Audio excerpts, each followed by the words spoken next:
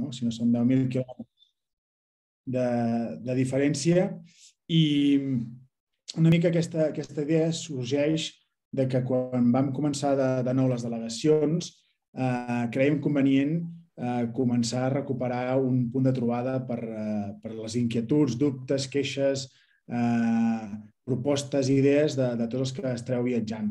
Amb la Laura com a, com a directora eh, vam començar a trenar i a fer que això funcionés i aquí estem. No? I una mica l'idea és eh, no donar-vos un rotllo que no us interessi per res, sinó que volem que sigui pràctic, que realment us funcioni vosaltres, que sou els interessats i les interessades. Per tant, eh, jo sense més eh, cediré la paraula. Eh, podem anar interrompent, podem anar fent preguntes, que sigui el més còmode i a més diàleg. No, no us fotem aquí la xapa i ja està, ja està sinó que talleu-nos, pregunteu.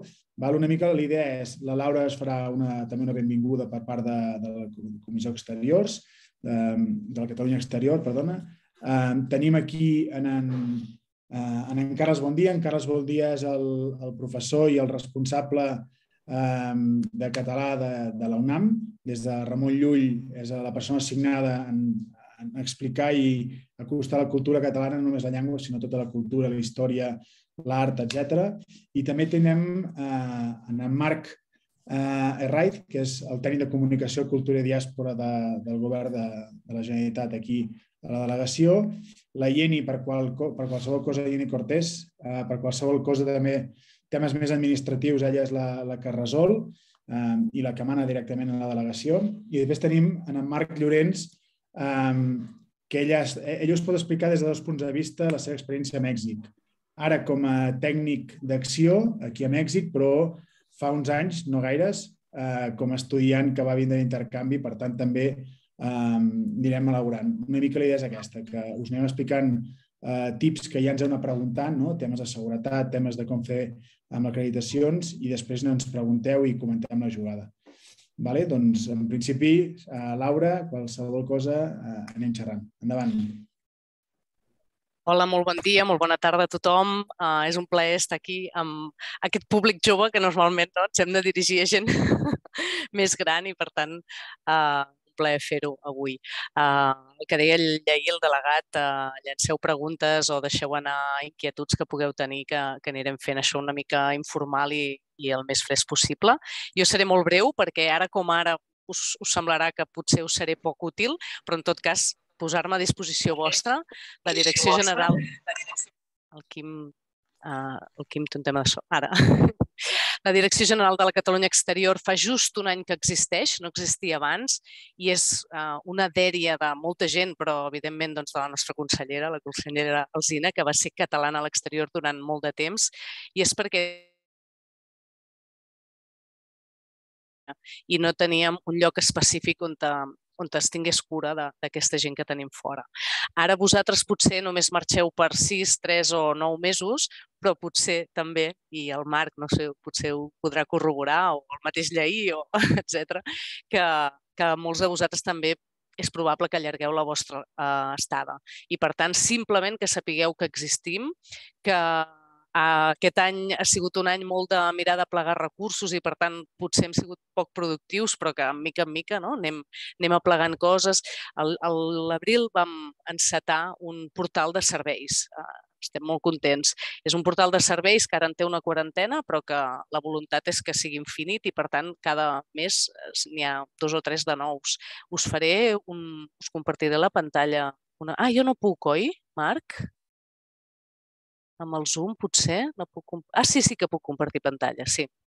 Doncs us la comparteixo un segon perquè sapigueu on és aquest portal de serveis i aquest espai de la Catalunya exterior, tot i que al mes de setembre l'inaugurem de nou.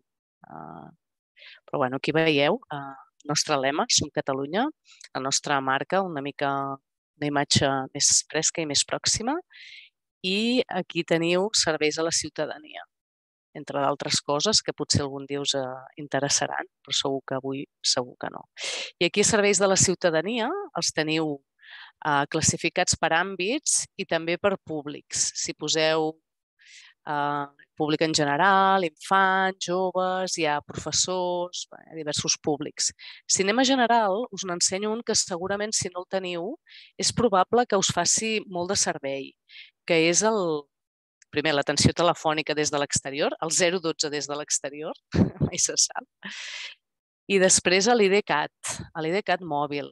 Aquest, si teniu ara una miqueta de temps i us el podeu treure, segurament us estalviarà després amb totes les administracions catalanes eh, molta feina i haver de trucar algú que us vagi a fer un tràmit o que no us el pugui fer perquè necessita que hi sigueu vosaltres. Per tant, aquest probablement sí que eh, amb aquesta curta estada ja, ja us sigui útil. bueno, si podeu passejar una mica per aquest portal i veureu si hi ha alguna altra cosa que us pugui fer servei, però si no, mireu-vos això de l'IDCAT. Deixo de compartir.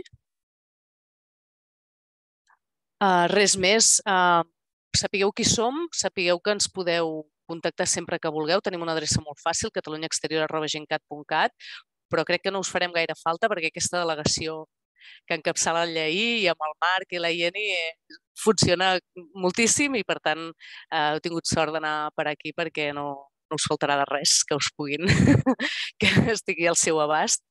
Uh, el que sí també, si teniu oportunitat, i potser més endavant us en parlaran, de formar part d'algun casal català. Els casals catalans són una peça fonamental de la Catalunya exterior ho ha sigut des de l'any 1840, que d'alguna manera més formal es va institucionalitzar el de Cuba. Uh, si bé és veritat també que estem en una època de molt canvi i que, com que porten aquesta història que és tan profunda, eh, doncs segurament els hi cal nova energia per poder, eh, per poder vincular-se a un nou moment i a unes noves necessitats com poden ser les vostres mateixes, no? d'estudiants que, que hi aneu un temps i que, que us, bé que necessitaríeu potser un suport els primers mesos, compartir una cervesa un dia a la tarda, etc etc. Per tant, si teniu ocasió, també formeu part d'aquesta comunitat i ajudeu també a transformar-la i que tingueu moltíssima bona experiència a disposar. Merci, Laura. Una mica també eh, el que es deia, molts hem arribat aquí per... Jo venia per un casament i aquí m'he quedat i porto 10 anys, un altre venia perquè Eh, volia conèixer, estar més temps amb la xicota i aquí porta 12 anys, que és el cas d'en Carles, que s'acaba de connectar també de l'equip. En Marc també venia per dos anys i aquí porta ja quatre, o sigui que Mèxic és molt viciós. Ja us enamoreu fàcil, per tant, també eh, atents. Coneixem, a part de treballar a la delegació, coneixem bastant el país. Eh, l'hem caminat i l'hem turistejat bastant per tant, també preguntar-nos aquests temes. No? Um, tenim xats a la majoria dels estats, per tant, aquí també els que aneu a diferents estats, no? a, a part de la ciutat de Mèxic, eh, veiem que hi ha alguns que van a Monterrey, altres que se'n van a Nayarit, uns quants que van al nord, a Baja Califòrnia, Ciutat de Mèxic, Pachuca, tots aquests, aviseu-nos després ben bé i us anirem posant als diferents xats no? quan arribeu. Um, una de les coses que, que anireu veient és que som, tot i ser la institució, a vegades som un pèl informals i aquest pèl informal juga al vostre favor en aquest sentit, perquè intentem ser el més pròxim possible i si us passem telèfons d'emergències, però qualsevol cosa estem aquí una mica per, per ajudar-vos, no? Uh, tràmits que podeu necessitar en un moment donat, alguna cosa d'urgència, um, dubtes, inquietuds que no sortin avui però que surtin més endavant, doncs també la idea que teníem era eh, que es muntés un xat amb tots vosaltres i que us anéssiu nodrint entre vosaltres mateixos. No? Sempre diem que la intel·ligència col·lectiva és molt més forta que la que podem tindre un de sol o dos i, per tant, doncs, l'experiència d'un que acaba de viure i que acaba de fer un tràmit pot ajudar els altres de seguida. Per tant, també us proposarem que munteu un propi xat eh, per ser molt més ràpids i més, més eficients. Eh, dit això, hi ha un manual de benvinguda que hi ha molta informació. Alguns servirà a vosaltres de forma directa, altres és més informació general de com muntar una empresa, com fer diferents paperasses, tot el, totes les coses que fan i els eh, tema administratiu i burocràtic des de l'ambaixada i consulat també us ho posem en, un, en el document perquè tingueu més fàcil sapigueu cap on us de dirigir, perquè si no és una mica caòtic, no? D'aquí un paper, d'allà un altre, fes aquest tràmit, després aquest, no, passa darrere, un passa endavant. Per tant, partint de tot ajuntat, hi ha aquest manual que el penjarem a la, a la pàgina web i el tindreu a disposició, però que una mica ara en Marc i en Carles us aniran explicant algunes coses més, més específiques. Si voleu, Marc, Carles, avanti. Perfecte. Doncs, com comentava el delegat, um, si voleu, uh, us ensenyem el, el manual, aquest manual de benvinguda, on hi ha diferent informació sobre abans d'arribar a Mèxic, uh, durant l'estada a Mèxic i després de l'estada a Mèxic. No? Tenen diferents etapes, diferents tràmits i diferents consells de viatge i d'estada. Doncs, si voleu, us el compartim, el anem mirant i la idea és que sigui una sessió dinàmica, que mentre nosaltres anem parlant i anem explicant els diferents capítols, si vosaltres teniu un dubte específic, aixequeu la mà, uh, aquí podeu aixecar la mà amb, amb l'aplicació i, i feu la pregunta i anem xerrant i fem una cosa dinàmica perquè sigui una cosa uh, útil per vosaltres, no? que no us, us donem aquí un, un, tot un xorro d'informació que potser no sigui tan útil. Llavors, comparteixo la pantalla.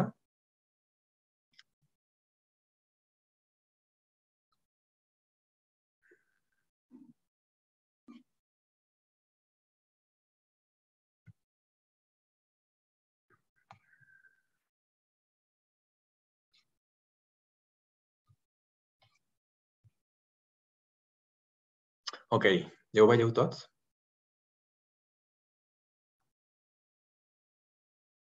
Veieu la portada del manual de benvinguda? Sí. Va. Perfecte. Doncs, després la idea és que després de la, en acabar la sessió us l'enviarem per correu perquè el tingueu i el pugueu consultar i perquè és, és un manual de 20 pàgines, no, doncs hi ha molta informació, Um, I la idea és que pugueu llegir, consultar i veure tots els links. Cada apartat té el seu link amb informació o amb el link del tràmit corresponent amb el paper que heu d'omplir. Llavors, el, aquí al principi doncs, teniu les, les, les uh, dades bàsiques de la delegació, l'adreça. Estem a la colònia Anzures, que és una colònia molt cèntrica entre Polanco i el centre històric. Um, doncs, uh, podeu escriure'ns, podeu venir a veure'ns quan, quan sigueu aquí a Mèxic, a la ciutat de Mèxic. Bàsicament, aquí al telèfon eh, el que podeu trucar sempre que ho necessiteu, teniu un correu d'informació general i aquí teniu totes les xarxes eh, que nosaltres manegem, um, gestionem, perdó, i doncs Twitter, Facebook, Instagram, uh, LinkedIn i la pàgina web. No? També tenim un canal de Telegram on anem penjant diferent informació sobre la delegació, activitats, informació general sobre Catalunya, sobre les relacions Catalunya-Mèxic, on apareixen articles de diari um, en què nosaltres hi apareixem o entrevistes del delegat, uh, tot d'informació que us pot ser útil i doncs, també doncs, saber quin tipus d'activitat fem aquí a la delegació. Llavors, com us comentava, el manual està dividit en diferents etapes. No? Abans d'arribar a Mèxic, que bàsicament és els visats i els permisos que heu de treure per entrar a Mèxic, que ara ho veurem, no? que bàsicament a vosaltres el que us interessa és el visat d'estudiant, de, que ara el veurem um, i bueno, us pregunto, després us pregunto si ja l'esteu tramitant o si, uh, o si no, no en teniu coneixement i veiem en què us podem ajudar en aquest tràmit, que serà fonamental per vosaltres per entrar aquí a Mèxic, perquè com que està fora de la Unió Europea, doncs és un tràmit addicional que sí és important. Um, després, algú té algun dubte? Bueno, si voleu, us ensenyo l'índex i, i de seguida parlem dels visats i, i del que necessiteu. Un cop arribats, doncs, hi ha tot el que és la qüestió més pràctica de l'allotjament, de, doncs, de, de, de com establir-se, de com orientar-se a la ciutat, de la cobertura mèdica, de si després voleu buscar feina, doncs com es pot buscar feina, endavant. Uh, i, uh, I després, doncs, uh, tràmits davant del consulat o declaració d'impostos, això ja és per gent que ja està residint aquí, no? potser no aplicaria tant pel vostre cas. I al final teniu una, un addendum de tot de telèfons d'emergència i telèfons que us poden ser útils durant la vostra estada. Llavors, uh, abans d'arribar a Mèxic, el que és important aquí per vosaltres és la, el tema del visat. Uh, aquí tenim, per exemple, estades de turisme. És a dir, uh, si teniu, uh, durant la vostra estada aquí, hi ha gent, amics, familiars que volen venir a veure-us, uh, si venen per menys de 180 dies, no cal que uh, tramitin un, un visat.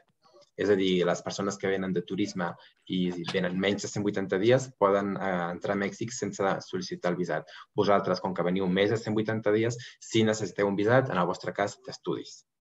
Aquí teniu tota la informació, la documentació necessària, Um, um, I aquí bueno, hi ha tot tipus de diferents visats que no apliquen en el vostre cas. En el vostre cas seria resident temporal aquí, d'estudiant. Llavors són per estades de més de 180 dies aquí i fins a un any. Si esteu més d'un any, es pot renovar anualment. Eh? està dirigit a, bueno, a persones de nacionalitat espanyola, en aquest cas no hi ha cap problema, es renova anualment i aquí teniu un enllaç on, on es posa eh, tots els requisits, el procediment, bàsicament que heu de portar la documentació, l'acreditació de que teniu una carta de la universitat o del centre acadèmic on aneu eh, amb la, doncs, que esteu inscrits i que fareu tal assignatures eh, i comprovar eh, aquests estudis. També heu de comprovar la solvència econòmica perquè aquest visat no us permet eh, fer cap activitat remunerada, això és important. I després, quan us donguin el visat, teniu 180 dies per entrar a Mèxic. Des de que s'autoritza l'entrada, des de que us donen el visat, teniu 180 dies per entrar a Mèxic. Si no caduca, i l'heu de tornar a tramitar. I una vegada sigueu aquí a Mèxic, a veure, vaig, vaig a anar a veure si podeu veure això. Veieu aquesta pàgina de Relacions Exteriors? Aquest link, aquest link d'aquí us porta aquí, que és tot el tràmit del visat de, del visat de resident temporal per estudiants. bueno, és molt llarg, ara no us ho llegiré tot perquè serà molt farragós, però uh, mireu-vos-ho bé. Aquí hi ha tots els requisits, els documents que heu de portar, la foto, el, el formulari, um, acreditar la solvència econòmica perquè no podeu treballar durant aquest període. Um, si teniu menys de 25 anys, podeu acreditar-ho també a través dels vostres pares, aquesta solvència econòmica, el procediment a través del consulat, no? heu d'anar al consulat a Barcelona o a l'ambaixada o a la secció consular de l'ambaixada a Madrid, um, donde, eh, bueno, aquí ho diu, la secció consular de l'ambaixada o el consulat de Barcelona, però si sou residents a Catalunya, us toca el consulat de Barcelona el tràmit, el cost i coses importants, temps de resposta, en principi són 10 dies hàbils. Dic, després la, la. Després la burocràcia doncs, porta els seus temps addicionals, però en principi són 10, 10, 10, 10 dies hàbils per tenir una resolució favorable, esperem. I um, aspectes importants que us comentava. La visa que s'expede té una vigència màxima de 180 dies per entrar a Mèxic. I una vegada arribeu a Mèxic, heu d'anar a l'Institut Nacional de Migració dintre dels 30 dies després de l'entrada a Mèxic per tramitar la targeta de residente temporal. És a dir, una, teniu la visa, però quan arribeu a Mèxic heu d'anar a l'Institut de Migració per treure la targeta de resident temporal per els mesos d'estada que estigueu aquí d'estudis. I després doncs, hi ha una mica més informació, contacte de l'ambaixada, mireu-vos-ho bé i si teniu algun dubte, doncs ens escriviu, ens envieu a un WhatsApp i, i resolem els dubtes un per un. No sé, eh, aquí potser seria interessant veure si tots ja teniu aquest tràmit resolt o si l'esteu tramitant o si la, la universitat us està ajudant amb aquests tràmits. Aquí obro, obro la, la, la paraula a tothom. Algú té algun comentari?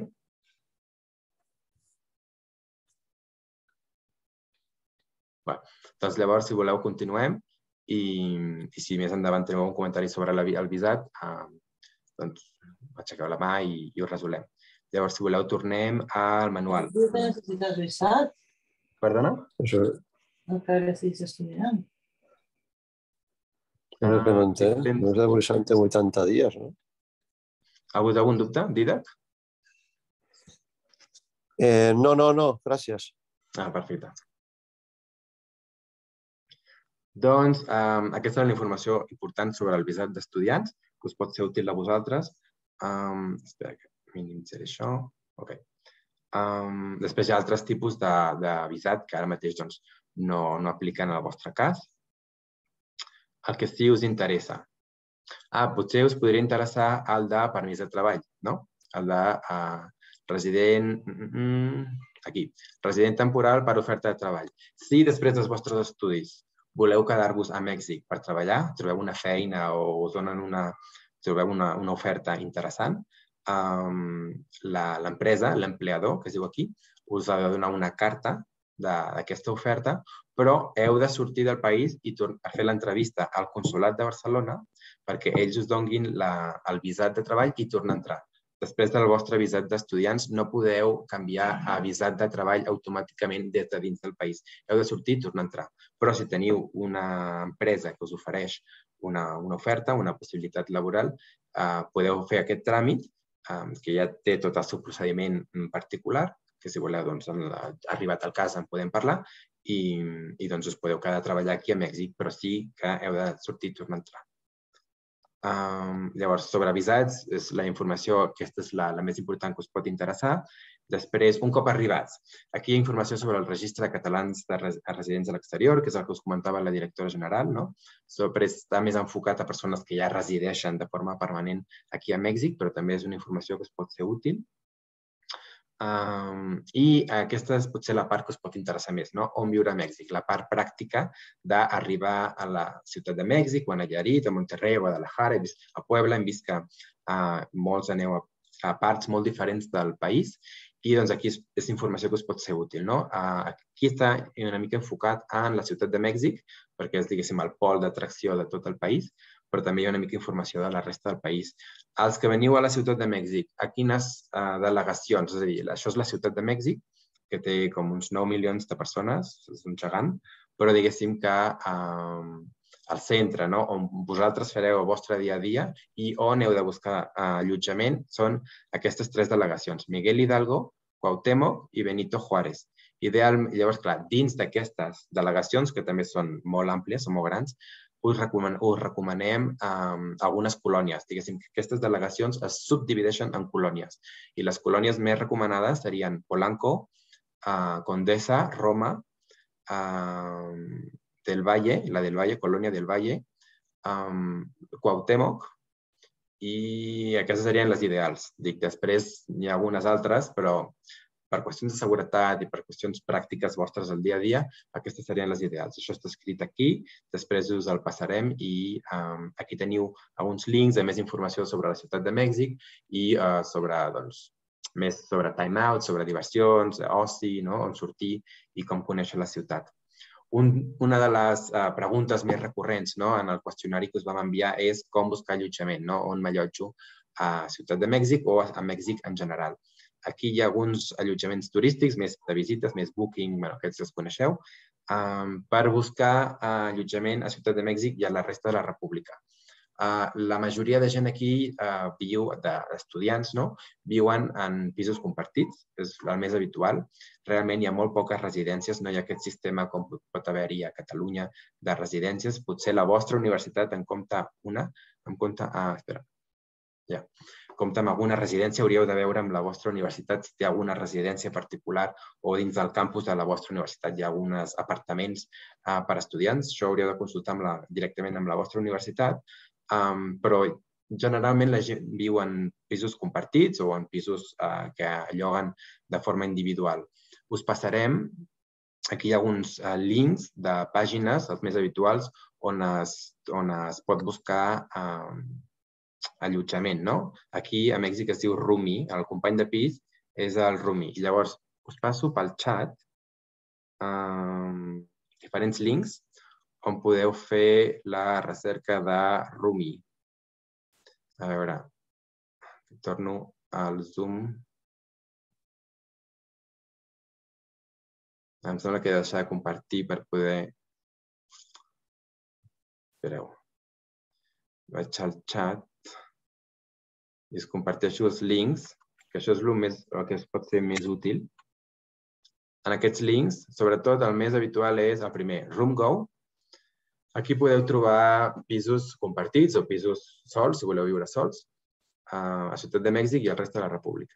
Després n'hi ha d'altres, com Viva Anuncios, um, hi ha grups de Facebook, de roomies i roommates, Segunda Mano, Muebles Metros Cúbicos, Té diferents pàgines i aquestes us seran molt útils per trobar allotjament. Um, torno a compartir pantalla.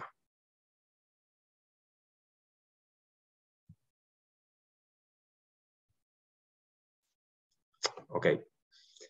Um, si voleu, uh, la idea és que um, si esteu en pisos compartits, que llogueu una habitació, uh, no us demanen tantes coses com si voleu llogar un pis a títol personal. No? Si voleu llogar un pis sols, aquí sí pot, es pot complicar la cosa, perquè normalment què demanen? Demanen un dipòsit d'un o dos mesos i el que és més complicat pels estrangers com nosaltres és un fiador o aval. Normalment a Estat de Mèxic o a Ciutat de Mèxic i generalment a les grans ciutats com Monterrey o Guadalajara i a les altres ciutats on aneu, demanen un fiador o un aval amb propietat, és a dir, un bé immoble dins de la mateixa ciutat.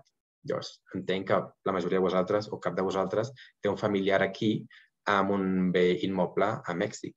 Llavors, serà complicat, uh, però sempre es pot um, contractar una garantia bancària. No? Si aneu a un banc, us pot fer una garantia que us faci de, de fiador però bueno, ja és una negociació amb el propietari.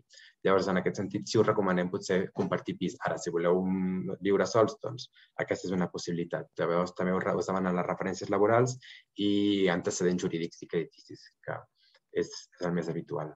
Um, Carles, sí, en, en qualsevol moment, si vols afegir qualsevol cosa, endavant. Um, aquí, bueno, hi ha un... Vols afegir alguna cosa sobre el lloguer? Eh, no, només remarcar la, la figura del, del fiador, perquè sí us el demanaran 100%.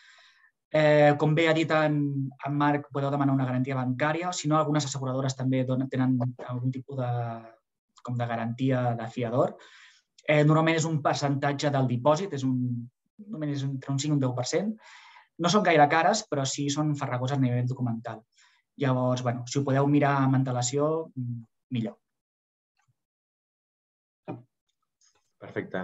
A continuació ve el tema del compte bancari, però bueno, aquí els, el procediment per obrir un compte bancari, no sé si en el vostre cas és tan útil pel, perquè veniu pocs mesos, però bueno, um, si, vingui, si ho requeríssiu, doncs aquí hi ha el procediment i si tinguéssiu algun problema ens ho podeu comentar. Hi ha el tema de permís de conduir.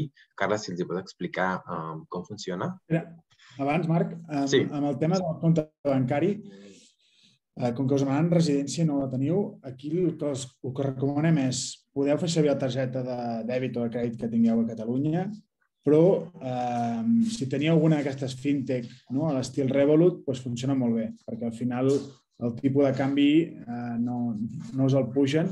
No? Si us voleu fer transferència, doncs és, uh, surt més a compte i aquí funcionen igualment. Val? Per tant, això eh, és molt recomanable um, per poder tindre-ho. Amb el tema de canviar diners quan arribeu. L'aeroport sol ser un bon lloc, sobretot quan arribeu a l'aeroport, no canvieu a Catalunya, perquè a Catalunya, com que no tenen gaires pesos, us els cobraran més alts, canvieu-los quan arribeu aquí a Mèxic. Um, el recomanable és arribar i anar a la porta de sortida, perquè a la porta d'arribada és més car. I quan vas a la porta de sortida, les cases de canvi són més barates. Per tant, allà aquí tenim el primer tip que es pot ser pràctic no carregueu molts calés a la butxaca, normalment. Intenteu portar eh, algo normalet. Què és algo normalet? Doncs pues mira, menys de 500 pesos. 500 pesos equival a uns 20 euros més o menys. Per tant, amb això podeu dinar, sopar, esmorzar, a no sé que aneu a llocs eh, molt cars. Però vull dir que no fa falta que porteu molts calés a la butxaca val? I, i és molt més pràctic. Si pagueu amb targeta de dèbit o de crèdit, sempre poseu millor la moneda local. Eh, poseu euros eh, perquè després la, quan posa, deixa triar moneda, si poseu euros sempre el canvi és més, és més car. Per tant, si poseu moneda local, us sortirà més a compte a l'hora de pagar amb targetes a qualsevol lloc. Moltes gràcies. Ah, doncs si sobre... vols... Sí, endavant. sí, sobre el permís de conduir, eh, amb el permís de conduir eh, espanyol es pot eh, conduir tres mesos durant la vostra estança a Mèxic. En el cas de que necessiteu estar més de tres mesos, eh, jo us recomanaria que us traiéssiu el carnet de conduir internacional. Eh, es va a l'oficina de trànsit de la vostra ciutat o de la vostra demarcació, eh, ho demanes a la guixeta, em sembla que són 10 euros amb 50, te'l donen el dia següent i amb això pots eh, conduir a Mèxic i a diversos altres països eh, durant un any. Llavors, jo us el recomanaria, tot i que a priori hi ha moltes ciutats que el cotxe no l'hauríeu d'utilitzar si utilitzeu eh, transport públic, metro, autobús i tal, o fins i tot taxi. Eh, mai sabeu si el necessitareu en algun moment, si sortireu a fer alguna volta per algun lloc, si sortireu amb els amics de la uni eh, de vacances a algun lloc, a fer una estança curta, segurament acabareu conduint d'alguna altra manera. Llavors jo us recomanaria que eh, si estareu menys de tres mesos que bueno, podeu conduir amb el vostre carnet, si el teniu, si no us el podeu treballar, Eh, I si no, eh, us traieu el permís internacional, que és això, costa 10 euros amb algo i esteu tranquils, tranquils un any. A veure, tra transport públic, que comentava en Carles. No sé si em salto... Marc, tu tenies en ment més endavant? No, endavant, endavant, sí. Transport públic. Uh, metro, cap problema. eh, tramvia tampoc, etc. Taxis. Mai, mai agafeu un taxi al carrer. Allò de que et xiules i aixeques el braç, nanai de la Xina. No ho feu. No són segurs. Per tant, quina que recomanem? Aplicacions com Uber, que ja coneixeu, Cabify, Didi, Didi. és una altra que funciona molt bé. De fet, Didi és una mica més econòmic que, que Uber. Um, no és com a Catalunya que el demanes i cap de mitja hora arriben, sinó que aquí ho pots demanar quan tu el necessites. Uber, Cabify, Didi, Bit són els quatre que estan funcionant. Sobretot a, a fora, a això a Ciutat de Mèxic. Fora de Ciutat de Mèxic, Uber és el que funciona més. Depèn del, del municipi on aneu, eh, és una mica més eh, complicat agafar aplicacions. Val? Aquí, eh, depenent, depèn de cada un d'on anireu, anem, anem fent. En Carles us ho acaba de posar en el xat, les quatre aplicacions que trobareu. També en el xat he, us he enviat, acabo de crear un xat de, perquè els que us interessi es pugueu connectar en el, en el xat, podeu entrar, eh, és nou, per tant és pels estudiants que, que vindreu, eh, us podeu intercanviar i serem en Carles, en Marc i jo, però si teniu, vosaltres si teniu dubtes entre vosaltres o que després voleu viatjar, no? la teva pregunta, escolta, que estic a Nayarit i vull anar a Oaxaca, o vull anar a Chiapas, no? que són els llocs que ens atrauen molt. Hi ha uh, via aèria eh, i via terrestre autobusos, no hi ha trens. Per tant, això que busquem trens no n'hi ha. Hi ha autobusos, són molt segurs i són còmodes els trens, ai, els, perdó, els autobusos, són bastant còmodes, són com sofàs, no són com els de Catalunya.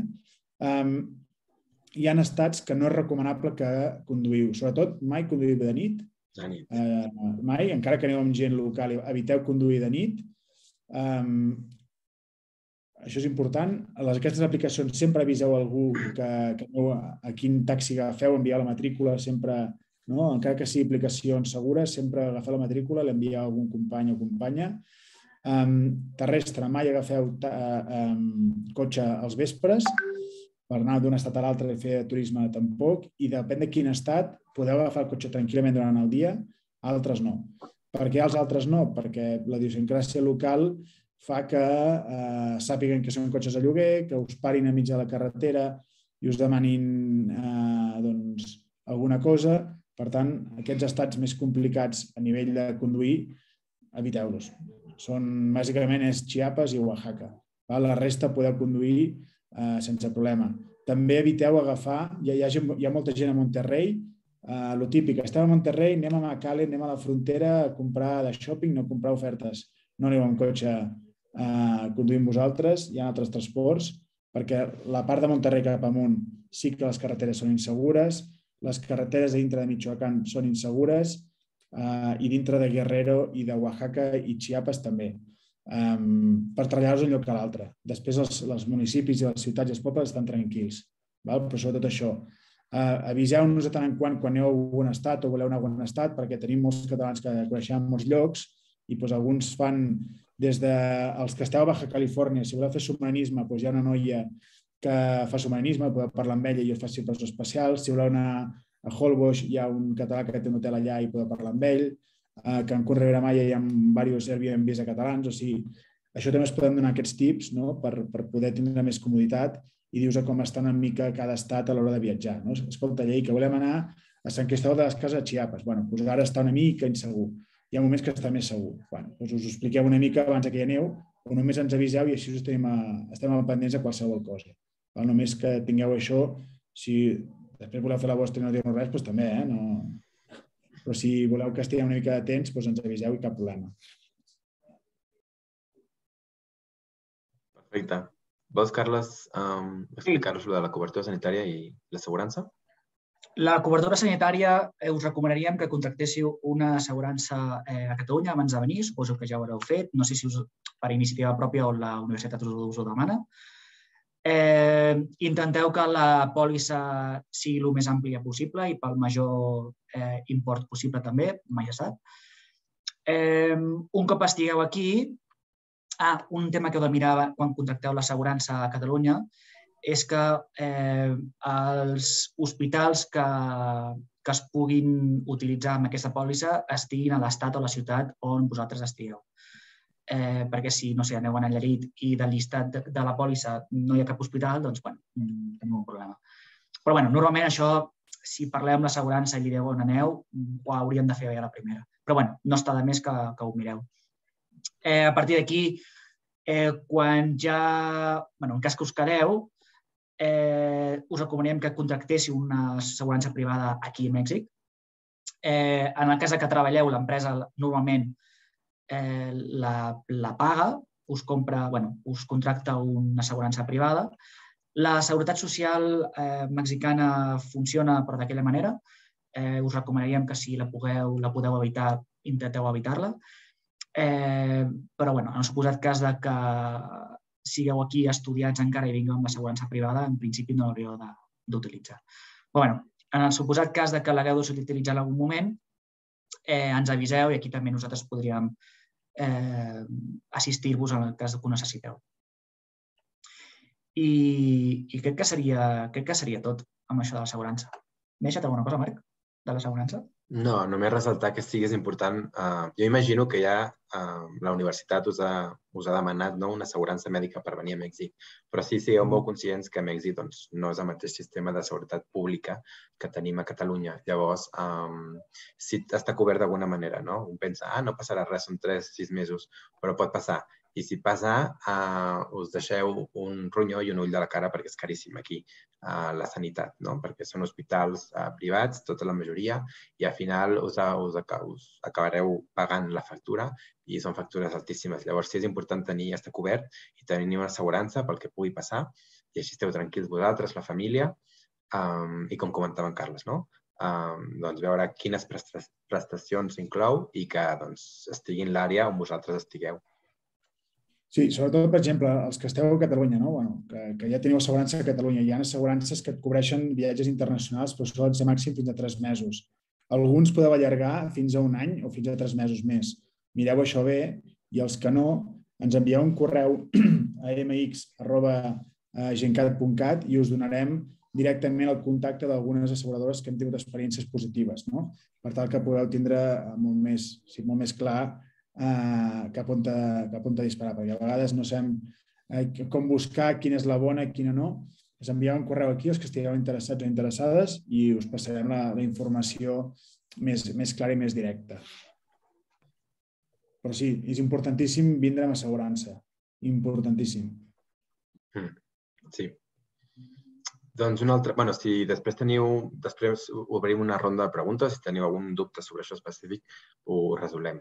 Hi ha un altre punt sobre com buscar feina. Uh, doncs en el vostre cas, de moment, no aplicaria, però si més endavant, després dels vostres estudis, us voleu quedar i buscar feina, doncs aquí hi ha diferents uh, pàgines web on, doncs, de headhunters o de, doncs, de, de pàgines de recerca de feina que us poden ajudar. Hi ha un punt sobre com crear una empresa, però aquí en aquest punt doncs, no, no aplicaria tant a vosaltres. Uh, que sapigueu que hi ha una oficina d'acció aquí a Ciutat de Mèxic Um, ells bàsicament ajuden a les... Ara en Marc Llorenç, que és d'acció, ens, ens ho pot explicar millor, però um, doncs, és una oficina que ajuda a les empreses catalanes a aterrar aquí, a obrir mercat i a implantar-se. No? Um, però bueno, això és perquè tingueu aquest detall de cultura general.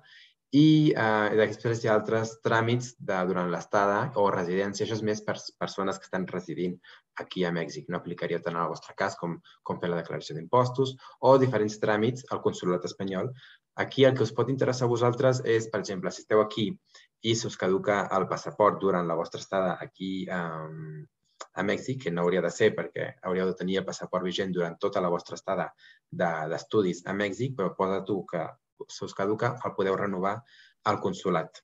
El DNI no es pot renovar al consulat. Això el DNI només es pot renovar a l'estat espanyol. A l'exterior no es pot. El que es, el podeu renovar és el passaport des del consulat de fet, hi ha tres consulats espanyols, consulats generals a Mèxic, el de Ciutat de Mèxic, el de Guadalajara i el de Monterrey. aquí hi ha diferents tràmits. No sé si aquí hi ha... No, no, després. Uh, diferents tràmits d'alta i baixa del registre consular. Bueno, us podeu, si voleu, us podeu donar d'alta com a residents temporals, però uh, aquí això és important. Uh, quin consulat aplica a cadascun de vosaltres, no? Per exemple, la gent que estigui a Jalisco, a Colima, Nayarit, no? que n'hem vist alguns, eh, doncs haurien d'anar al Consolat General de Guadalajara, Jalisco. La gent que està a Baja Califòrnia, a Monterrey, a Sonora, Sinaloa, aquests hauran d'anar al Consolat de Monterrey. I tota la resta, bàsicament tot el centre i sud, eh, han d'anar al Consolat General de Ciutat de Mèxic, que està a Polanco. Per qualsevol tràmit mm, ja més formal al consolat, aquest és el vostre eh, és, eh, consolat competent. Mm. És molt, molt important. Abans de fer qualsevol tràmit o anar al consulat, heu de trucar i demanar cita o buscar-la per internet. Exacte. Eh, sense cita no us atendran. Llavors, si des de Nayarit aneu a Guadalajara sense cita, mm, haureu de tornar amb va. Per tant, eh, feu, feu amb, amb temps i en previsió. Bé, a vegades, si, si ens aviseu nosaltres de què és el tràmit que voleu fer, us podem ajudar una mica més ràpid, de que ho feu tot per, per mail o ajudar-vos a tota la informació perquè a vegades és una cosa que pensem que serà complicat i es poden donar un cop de mà amb aquest tema. No? Um, tot això vull dir que com més, com, com més us podem ajudar, compteu que ho, que ho intentarem, no? perquè a vegades són coses que, que ràpidament es poden fer. Um, important amb el tema passaport. A la mesura del possible viatgeu amb el passaport que no estigui prop de caducar-se. No? Si pot ser més de 9 mesos uh, de vigència, millor, perquè després, si no, per poder sortir o viatjar altres eh, països al voltant, ja sigui que vulgueu anar als Estats Units o que vulgueu anar per Centroamèrica, eh, s'us complicarà a l'hora de, de poder-vos moure amb el passaport eh, prop de, o prop de caducar-se. Tingueu això també, també en ment. Perfecte. Aquí de fet, ha... a, Estats, a Estats Units, amb el passaport de menys de sis mesos no, no us deixaran entrar. Per tant, eh, mireu amb temps. Sí, perquè després el, les cites triguen molt aquí al consulat, on estan molt saturats i es pot demorar molt la, el tràmit de la renovació. Um, què més tenim per aquí? Naixements, de funcions, bueno, doncs si us caseu i, o teniu un fill per aquí i ja voleu registrar, doncs aquí hi ha el procediment. O si us voleu casar, doncs també us podeu casar. Eh, bueno, hi ha jubilacions, pensions, bueno, tots són tràmits per gent ja que porta molts anys aquí, no? Um, després, hi ha un altre punt sobre centres d'educació superior. És una mica una visió genèrica sobre quines són les principals universitats del país. Vosaltres ja teniu uns estudis assignats, unes universitats. Hi havia diferents dubtes en el registre, en el formulari que us vam enviar, sobre uh, com funcionen els cursos, els horaris, les assignatures. Aquí nosaltres no us podem ajudar tant. Això hauria de ser informació que us doni la vostra pròpia universitat o centre acadèmic de quan comença el curs o quines són les assignatures que fareu o com funciona la inscripció per les optatives. Tot això um, que ens preguntàveu, doncs uh, pregunteu directament al, als vostres tutors o als referents acadèmics que tingueu de les vostres universitats. I ja per acabar, i us anem la paraula i així obrim el torn de preguntes i consultes, aquí al final tenim una llista de totes les comunitats que hi ha a, a Mèxic i a Amèrica Central. Aquí, bueno, aquí hi ha tots els xats que comentava el delegat. Uh, després, si voleu, també us podem afegir a cadascun dels xats corresponents, uh, depenent de si esteu a, Cuerna, a Cuernavaca, a Puebla o a Guadalajara, on sigui, i després aquí teniu els principals casals de Mèxic, que és l'Orfeo Català, que és, eh, diguéssim, un dels casals més antics de les comunitats catalanes a l'exterior. Està a Ciutat de Mèxic, a l'Ansures també, al Virulai, que està a Querétaro, el, el casal de Yucatán, que s'està reconstruint, a Mèrida, uh, i el Club Català de Negocis, que és, doncs, diguéssim, per, per persones que estan en el món empresarial i doncs, que volen fer networking. També us pot interessar anar potser a algun dels seus dinars. I a l'Amèrica Central n'hi ha Costa Rica, Panamà, Colòmbia i Cuba, que seria l'àmbit de la nostra actuació. Finalment, per acabar, aquí teniu una llista de telèfons d'emergències dels consulats i de la policia, eh, policies locals, de policia federal, eh, d'Ibèria, de la Creu Roja, Seguretat Pública. Hi ha diferents telèfons que us poden ser útils. Un tema important aquí són eh, que li dona la picató a Mèxic. Són els terratrèmols. Eh, de vegades passa. I llavors nosaltres tenim un, eh, un gràfic amb diferents tips sobre què fer en cas de terratrèmols, perquè imagino que mm, molts de vosaltres no els heu viscut, però els viureu segurament. Llavors, eh, és important no espantar-se. A veure, el poso aquí, a, a veure si el veieu. L'imatge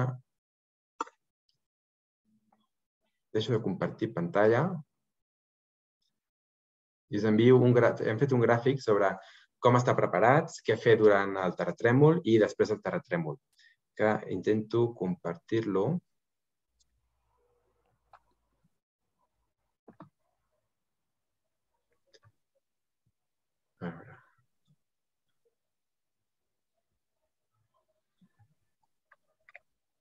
Bueno, no es vol compartir. Després, si de cas, en el, en el mail que us enviem, amb el manual, us envio també aquest gràfic perquè veieu una mica quins són els consells principals, que és bàsicament doncs, tenir una motxilla preparada sempre a l'entrada, doncs amb aigua, amb quatre coses bàsiques per si no us podeu tornar a entrar a l'edifici immediatament i us heu de quedar unes hores fora. Uh, sempre tenir, sempre tenir identificada quina és la part segura d'un edifici, la columna més, uh, diguéssim, uh, més dura, més, més, més robusta, per si hi ha un terratrèmol i no podeu sortir al carrer, quedar-vos allà. I tenir identificada sempre la sortida d'emergència per si uh, podeu sortir. Normalment hi ha unes sirenes a Ciutat de Mèxic i altres uh, llocs de, de, de Mèxic que si els dona temps um, doncs avisen abans que comenci a tremolar, però a vegades no els dona temps. Si sentiu les sirenes, sortiu al carrer. Depenent de la planta on sigueu. Si, la, si esteu una planta més propera al carrer, baixeu. Si esteu una planta més propera a la terrassa, al terrat, pugeu cap a dalt. Uh, són tips generals, um, diguéssim que, si voleu, en podem parlar després uh, més àmpliament. Uh, ja hi, Sobretot, no hi ha cap estudi directe, no hi ha cap estudi clar, però més o menys, per la nostra experiència, després d'uns quants terratrèmols, eh, solen ser mar, febrer, març, abril, sobretot febrer, març i setembre, octubre. Al setembre um, són els que són, quan solen ser. El setembre és el més fort. Um, els que estigueu a Ciutat de Mèxic el dia 17, no, 19 de setembre, si no m'equivoco, hi ha un simulacre general val, a les 12, ja, trobo, ja, ja us, això ja us explicaríem. Us passarem aquesta informació, també a les xarxes socials els anem penjant i també el telèfon d'emergències qualsevol cosa. Val? Però estigueu tranquils, tranquil·les, perquè no solen... O sigui, espanten, però no, no passa més d'allà, excepte algun de tant en quant i esperem tocar en fusta que no sigui la vostra estada. Però bueno, una experiència d'un terratrèmol, diguem-ne, petitonet per Mèxic, de 6, no? de 6, sempre està bé. És una experiència per explicar i que ho recordaré tota la vida. No? Uh, ja que veniu aquí, doncs, la tingueu. No és a tot el país. Uh, els que estiguin al nord no passa res. Uh, no sol arribar al nord. Nayarit no us passarà eh, no passarà a Yucatán, no passarà a Guadalajara, eh, és sobretot al centre, Puebla, eh, Oaxaca, Chiapas, alguns a Guerrero i eh, a aquesta zona. Altres tenen huracans, no? que és l'altre... Això també, els huracans estan eh, tematitzats, no venen huracans i terratrèmols a la vegada, no us empataran, tranquils amb això. Um, ja us explicarem també, huracans i acaben de passar la temporada, per tant, fins a, a finals d'any, principis del que ve no n'hi ha, o sigui que amb això podeu estar tranquils. Vale?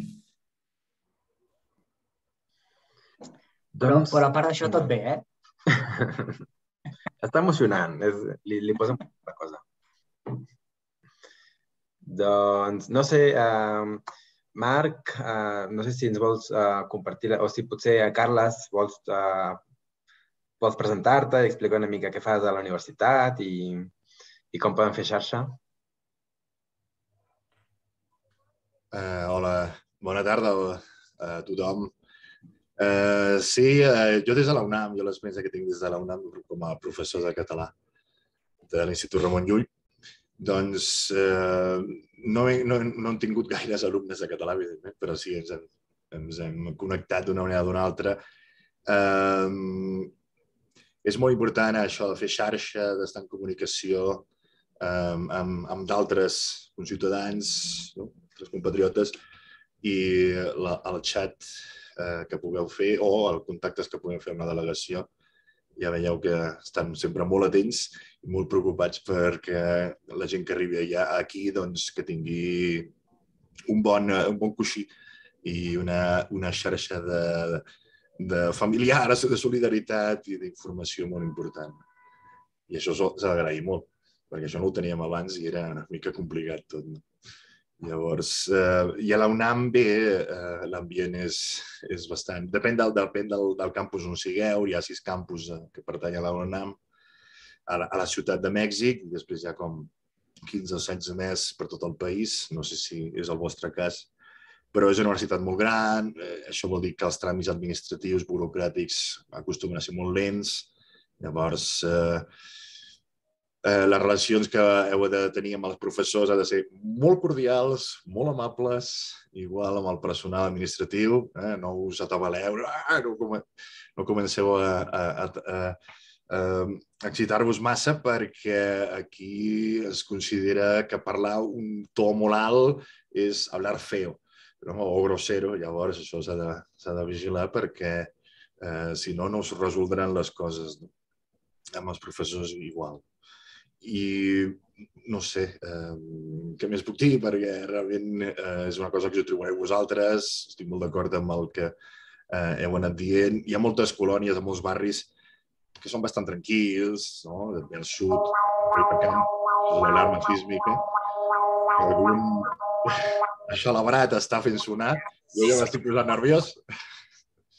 Eh, i, I la veritat és que eh, què s'anava a dir ara? Ja, ja m'he ja perdut el fil. Però la qüestió és que eh, estireu molt tranquils, que hi ha moltes colònies on podeu viure tranquil·lament. Eh, si, si esteu vivint en una ciutat gran, intentareu trobar el transport públic a prop, que no sempre és així.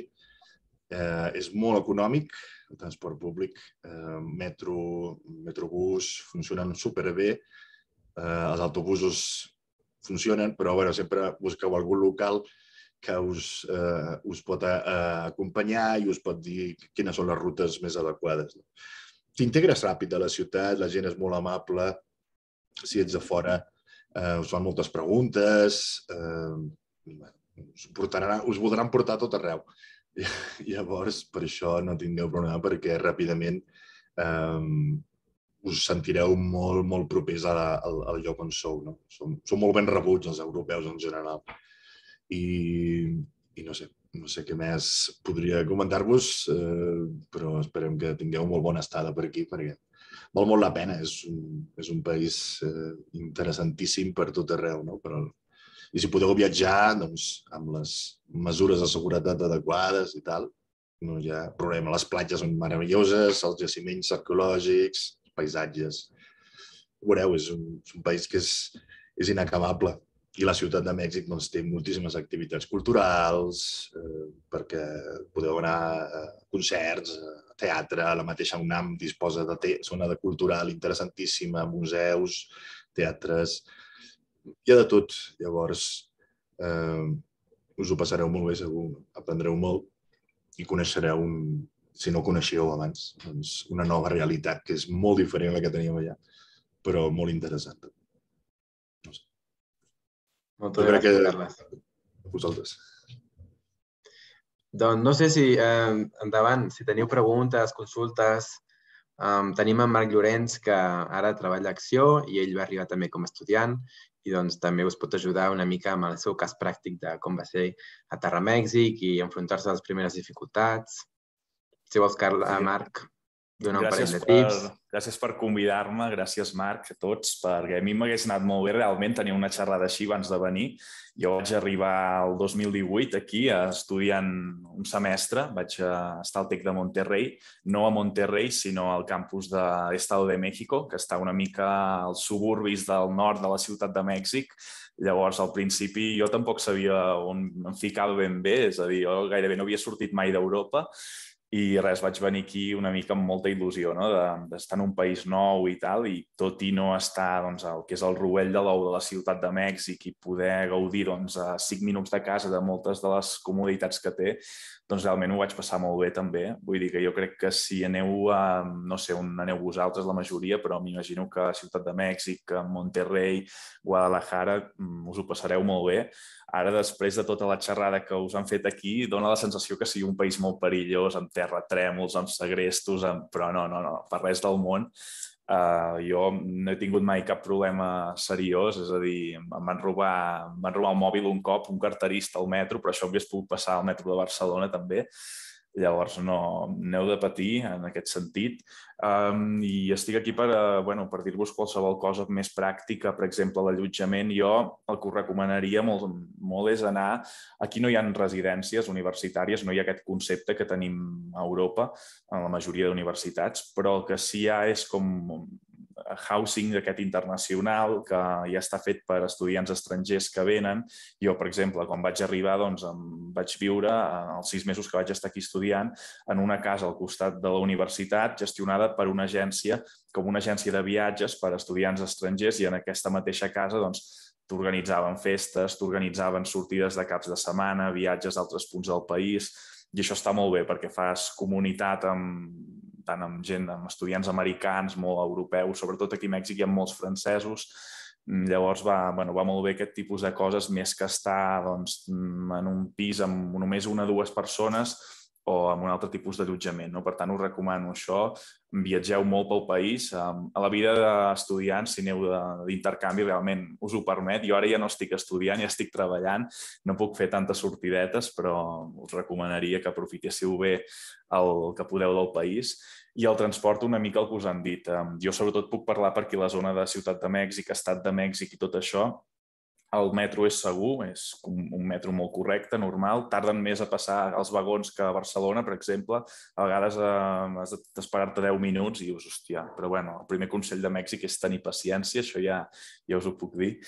I en general tot el transport públic és correcte. El que sí que us deia en Lleir és veritat, no agafeu aquests taxis roses i blancs que es veuen pel carrer, no són els més segurs feu servir les aplicacions. Uber és la que està més present a tot el país i jo faig servir molt InDriver, que mm, alguns diuen que no és tan segura com Uber, però és una aplicació bastant més barata perquè tu proposes el preu i llavors te l'accepta el conductor i a vegades és la meitat de preu que Uber, però perquè feu una idea, tant Uber com InDriver, un trajecte de mitja hora pot costar 5 mm, euros, 6, 6 euros, o sigui, està, està molt bé el preu, res, res comparat amb el metro, ai, perdó, amb els taxis i Ubers a Catalunya. Llavors, és, és un altre aspecte a tenir en compte. Mm, què més us podria dir? Bé, que m'havia apuntat aquí alguns temes. Mm, sí, sobretot el, el tema diners, bueno, ja ho hem comentat una mica, no? Um, no és recomanable anar molt efectiu pel carrer, uh, uns 20 euros, és el que deia en Lleir màxim, està molt bé, i realment jo ara sí m'he hagut d'obrir un compte, òbviament, perquè estic treballant aquí a l'oficina d'acció i, per tant, tinc un salari, llavors és no, lògic, no? Però quan vaig venir d'estudiant de, d'intercanvi, doncs feia servir la meva targeta de la caixa, qualsevol caixeta l'accepta, uh, la majoria et cobren una comissió de més o menys un euro i mig, uns 30 pesos, que són un euro i mig, dos euros, per fer una retirada de diners, però bueno, que s'assumeix i tampoc és molt, no? I sobretot és això, no portar molt, molt efectiu, una mica sempre, perquè no és Europa i en llocs que no cobren amb targeta, i això és així, però tenir doncs, una previsió d'això, de, per poder menjar un dia o dos, jo crec que és suficient. I les zones una mica, doncs, ja ho han comentat, no? A les zones, jo m'atreviria a dir que la ciutat de Mèxic es divideix en, en dues parts, l'oriental i l'occidental. Uh, malauradament, l'oriental és on es concentra molta part de la pobresa, desigualtats. Uh, en canvi, l'occidental és on hi ha les colònies de Polanco, Roma, Condessa. Uh, jo ara visc al, al sud, a, a Coyoacán, que també és, és molt segura, és, és molt recomanable. Vull dir, els que aneu a la UNAM, no sé si algú que vagi al campus de la ciutat universitària a la UNAM, també us recomano el, la zona de Coyoacán perquè està bastant més a prop de, de la UNAM que no pas les, les més de Polanco i Condessa i res, que ho disfrutareu i de veritat estic aquí per qualsevol pregunta, dubte així més pràctic que tingueu i res, a disfrutar-ho. Merci, Marc. bueno, us passem també en glosari, eh, els que estigueu al xat us passem en glosari de paraules i conceptes que podeu dir i que no podeu dir, eh, perquè a vegades parlem, no? Eh, ens ve en ment l'espanyol d'Espanya de, de, i no l'espanyol de Mèxic, hi ha coses que si diem ens posem a, bueno, ens posem nosaltres mateixos una traveta. Um, consells que també trobareu. A veure, prohibit beure aigua de l'aixeta en tot el país. Val? Coses pràctiques, prohibit. Hi ha una cosa que es diu uh, la, la, com ara no s'ho dirà, uh, Montezuma, la... Carles? La vengança de Montezuma. La vengança de Montezuma. La vengança, la de Montezuma és que us ve mal de ventre, que aquí diuen que teniu xorro i esteu tres dies sentats a, eh, jugant Game of Thrones. Per tant, millor no beveu aigua de l'aixeta, uh, menjar picant. No pregunteu mai un mexicà si pica, perquè sempre per, ell, per ells mai pica res. Per tant, pregunteu millor a algú de confiança o proveu una miqueta. Però si us poseu picant, eh, pica. Val? I, I pica quan entra i pica quan surt. Per tant, anem en compte. Um, propina. Sempre s'ha de donar una mica de propina. Aquí els cambrers, um, una part del sou és la propina. Per tant, sempre calculeu un 10-15% de propina. Com que som catalans, normalment farem sempre el 10, però si el servei és molt bo, doncs podeu donar el 15, no hi ha cap mena de problema. Um, aquí sempre, i els faran bullying al principi, sobretot els que tenen que de Mèxic, Aquí la gent sempre pensa en doble sentit i us intentaran, amb les paraules, fer la jugada, en diuen el bur, estigueu tranquils, ja els aneu aprenent. Val? En, el, en el glosari que us enviaré ja hi ha alguns perquè els eviteu. Um, però, per exemple, aquí tenen moltes paraules angleses no? o americanes. Uh, el wifi que direm habitualment, hi ha wifi tot arreu, però aquí diuen wifi. Uh, primera cosa que us haureu d'acostumar, perquè si no de seguida us, uh, us enganxaran i faran la broma. Um, després del clima, tothom pensa que a Mèxic eh, estem a la mateixa temperatura que esteu a Catalunya ara, no? amb 38 graus, i no. Eh, a Ciutat de Mèxic o al centre de Mèxic és una temperatura suau, diguem-ne que hi ha dues estacions, la, la plujosa que estem ara, fins a octubre, i la seca, que és d'octubre fins al juny. Eh, per tant, eh, els que estigueu a Ciutat de Mèxic al voltant, al matí estareu a 7 graus, eh, una jaqueteta, a les 11 del migdia hi ha un sol espaterrant, es treu a 26 graus i a mitja tarda torneu a agafar la jaqueta i pot ser que caigui un ruixat. Per tant, aquí les quatre estacions en un sol dia. Els que esteu a perifèria, Nayarit, és un calor horrible i xafogós. Uh, Monterrey, um, trobareu que fot un fred horrible o un calor horrible i ara mateix uh, l'aigua està a preu d'or.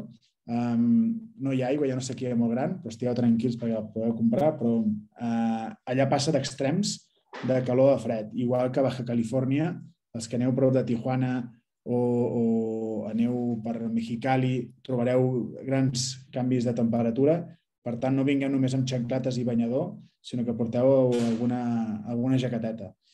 Um, les coses, pel que podeu pensar, no són eh, més barates que a Mèxic, molt sovint. És a dir, tot el tema de roba i així pot ser que surti més car fins i tot que a Catalunya. Per tant, també no, no aneu amb la maleta avui a pensar que aquí compreu tot eh, a bon preu. Um, coses que poden sortir també. Com entrar a Mèxic i quines proves heu de portar ara, no? en temes de Covid. Uh, podeu entrar sense cap mena de problema, només no us demanant ni, o sigui, no hi ha cap codi QR ni res d'aquestes històries que hi ha en altres països. Aquí va ser l'únic país que mai va tancar fronteres en temes de Covid, per bé i per malament. Uh, per tant, només que porteu a la vostra cartera o passaport uh, el, aquell paperet imprès per poder de, de vacunació de Catalunya, amb això ja ho tindreu. Val? Si algú s'ha vacunat als Estats Units, doncs també ho podeu portar. Important, ara, eh, per entrar al país, estan una mica a bordes els de migració, val? Per, a, per prevenir sustos, per prevenir que, cap problemàtica. Jo us diria, porteu sempre, sempre tots els papers impresos. Un tots allotjareu els primers dies, telèfons d'emergència impresos, perquè si fes deus al mòbil, eh, malament. Tingueu molt clar el bitllet d'entrada i de sortida. No, no vingueu només amb un bitllet d'entrada, perquè no podreu. Per tant, bitllet d'entrada i bitllet de sortida. Si és vol directe, millor. Ara hi ha una companyia que té vol directe a Barcelona, a Ciutat de Mèxic, uh, si no, doncs escala Madrid o escala uh, Amsterdam són bones, bones decisions. Als Estats Units doncs, bueno, sempre has de fer més paperam i té, té més complicacions, però també va bé.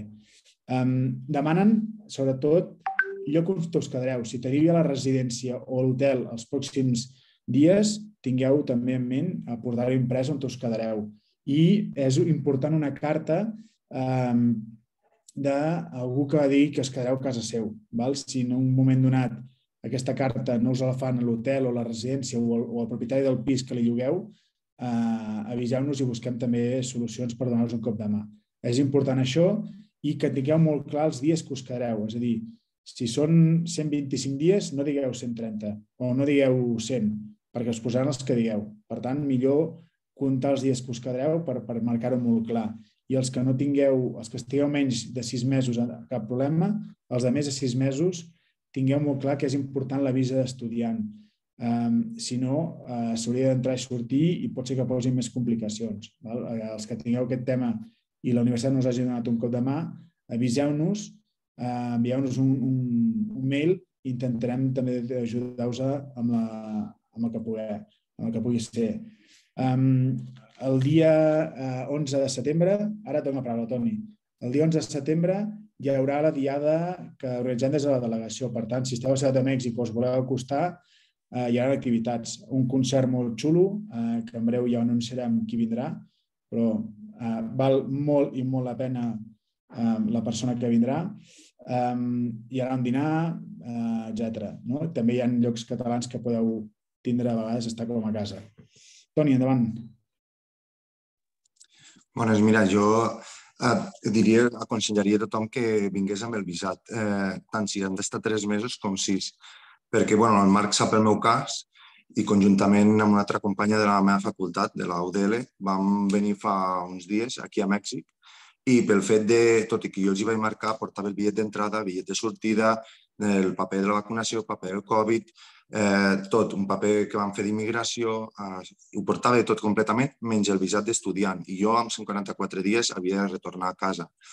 Eh, estava tot marcat i ens van deportar pel fet que no portàvem el visat d'estudiant.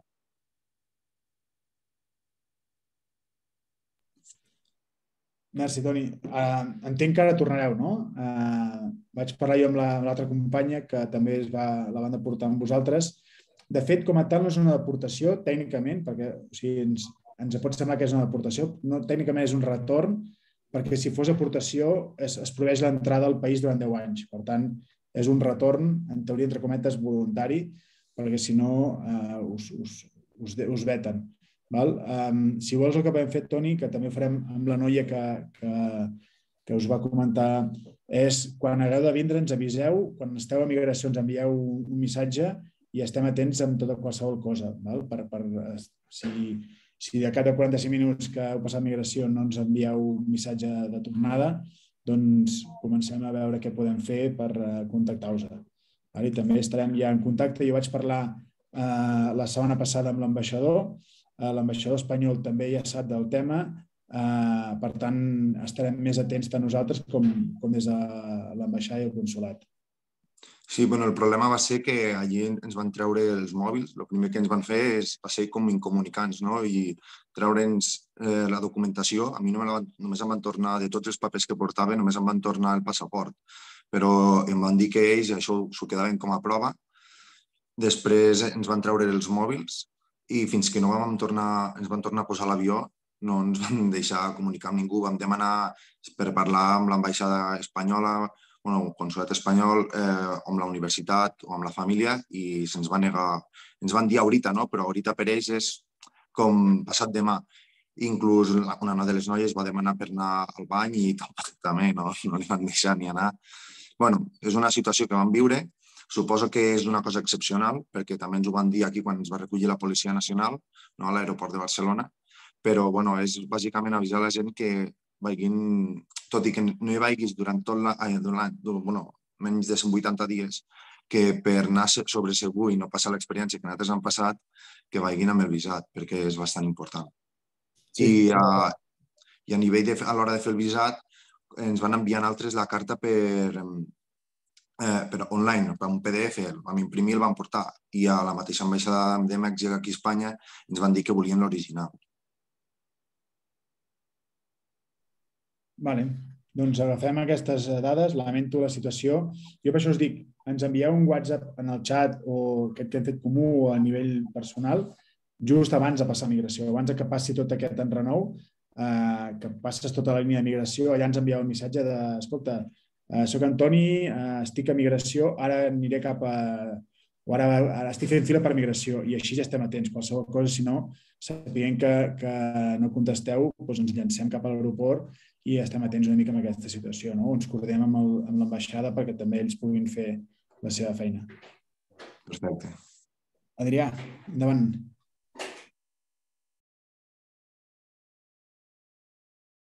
No et sentim, Adrià.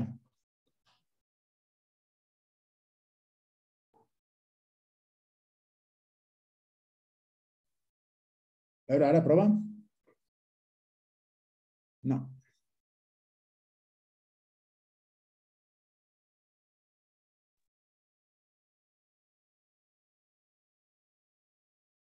No sé si el Hamat havia demanat la paraula mentre l'Adrià està resolent.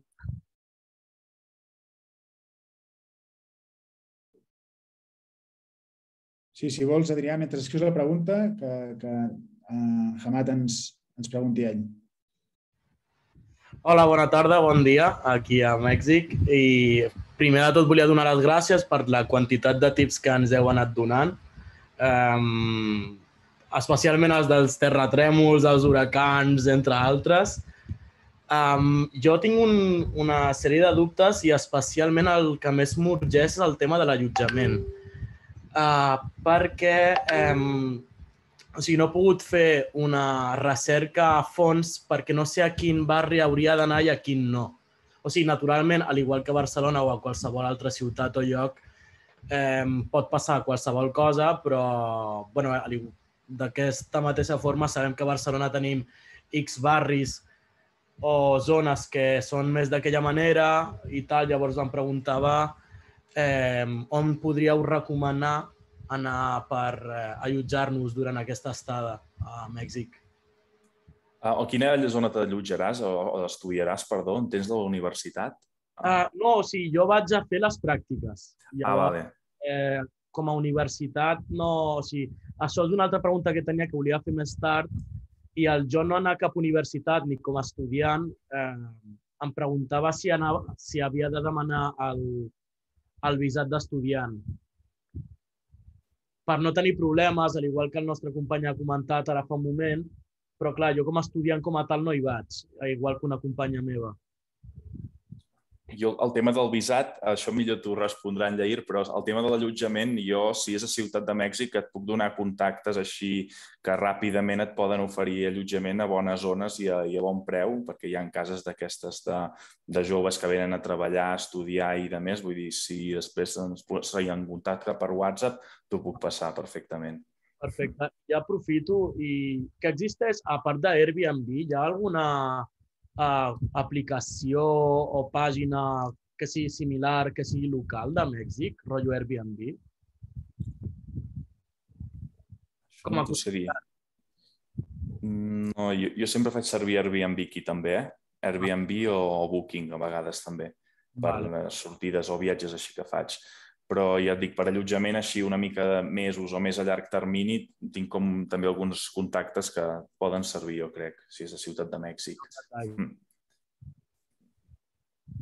I bé, de fet, eh, la meva pregunta era això, el de l'allotjament, el tema dels barris, el visat important, que no comptava amb això, i sobretot el tema també, perquè jo, per exemple, tenia intenció de agafar el vol d'anada i ja sobre la marxa agafar la tornada un cop allà. Eh, mala idea. I llavors... Eh... Sí, sobretot això, el eh, vol d'anada i tornada és obligatori. Si no tens un vol de tornada no et deixen entrar. Per tant, que després tu el posposis és un altre tema, però has de tindre el vol de, de tornada. Vale. Um, sen, sen, això sens dubte. Um, a veure, uh, Marc, tu comentes tu, comento jo, sí. si vols. Sí, a veure, en principi, segons el que està escrit en la llei, però després, clar, tu trobes amb una persona que és el que té el poder, el, el diguéssim, el control uh, migratori, doncs, també té certa uh, poder aleatori, que en, aquest, en el cas d'Antoni doncs, sí, va ser molt mala sort. Es van conjuntar tots els planetes perquè tingués molt mala sort i, i potser doncs, li va tocar un agent migratori una mica aleatori, però en principi pot passar però no és la regla general. La regla general és que menys de 180 dies no et demanen el visat i no te l'han de, de, de demanar si estàs menys de 180 dies. Um, i, òbviament, sense fer cap activitat remunerada. Això el principal. Um, llavors, per a aquelles persones que volen d'aquí uns dies, dos, tres dies, no, no, òbviament ja no us dona temps a obtenir el visat d'estudiants. No, no, no us dona temps a fer el tràmit. Llavors, si són menys de 180 dies, no hauria de tenir problema.